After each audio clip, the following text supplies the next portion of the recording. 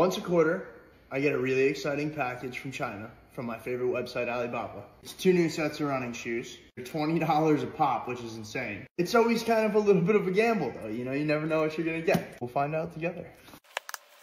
Oh, it's only one pair. No, I think it's better. I think it's better. I think they're shoe boxes.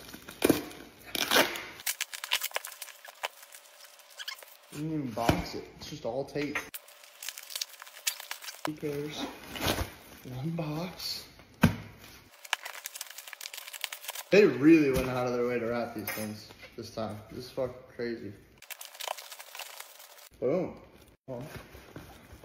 Boom. There you have it. I just hope they're the right size. Please. I ordered a pair recently and they're the wrong size, so I gave them to Mike for his birthday. It's like, you can't return them. It's China. It probably cost you like $30 to send them back. Nice box. He's right. Nine and a half. Pair one. Color to them. Two of the same pair. They're the uh, carbon carbon X, I think you call them. Fucking speed ones, all white. Pretty good. Really smells like a DSW in here. Once again though, Alibaba, the goat. I mean, I don't see why you would pay full price for the same shoe.